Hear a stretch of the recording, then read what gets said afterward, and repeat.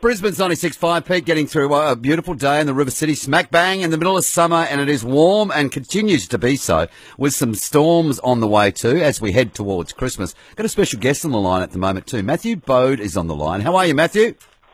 I'm good, Peter. How are you? Yeah, I'm good, mate. Uh, first up, plans for Christmas. What have you got planned? Uh, a lot of training and uh, a, a lot of hard work, really, trying to get ready for next year's racing season. And that's what we're talking about this morning. So now you've moved down to Brizzy. You're, originally from Darwin, Correct? and you're you raced a Formula V this year, hoping to step up to the V8 Supercar Dunlop Series next year. What are the? How's that looking for you, mate? Well, we're speaking to a few um, big partners at the moment, trying to secure the funding to go racing this, ne- next year. Um, but from from where the point of view, point where I'm at the moment, it looks relatively good, you never know in the industry, unfortunately. But we'll be trying as hard as we can. What made you get involved in it in the first place? What, quite a young age, or? Oh, I only originally got started in racing in go karting when I was about 18 years old. Prior to that, I'd been riding on motorbikes, and um, I remember Dad taking me out to a go kart track when I was younger, and I was just I was hooked hooked then, and pretty much from that point, I was just like, this is what I want to do with my life. I have to work hard to get there, and still have to work hard, but it's definitely fun. It's worth um, the sacrifice I have to make.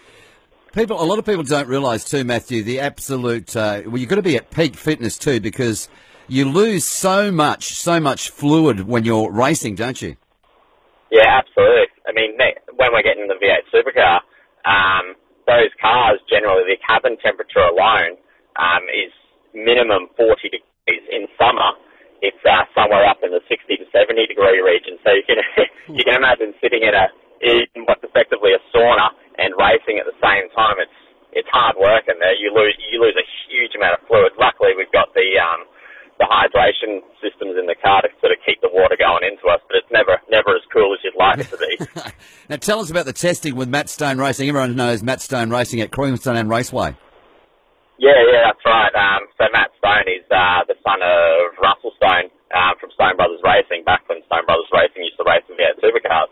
And um, pretty much one of the top teams in the development series. So it's, uh, it's a huge opportunity for me to be able to test with Matt Stone. It, it, it'll be a really good, really good time. As we know, when it comes to racing, you know, cars of any sort, it is not cheap. You need uh, you need some, you know, big sponsorship backers to just to afford to, to be able to race, don't you? Yeah, correct. It's it's it's amazing some of the money it's involved, but all, all, all that money it's uh, it is justifiable because it's just it's running the car like things like tires and brakes and just just the basic running of the car. Mate, we wish you all the best. I I know it's an exciting time of your life too, and it's going to be a big 2016. All the best for Christmas. Rest up and make sure you're ready to go for the for the new season. Mate, great to chat, and we'll uh, talk soon. So, so, so thanks a lot for that, Peter. Yeah, it'll, it'll be good, and you guys have a good Christmas too. Yeah, he's got a big future ahead of him. Matthew Bode, keep an ear out for that name. Coming up, details on the wonders of Christmas before 12 at Brisbane's 96.5.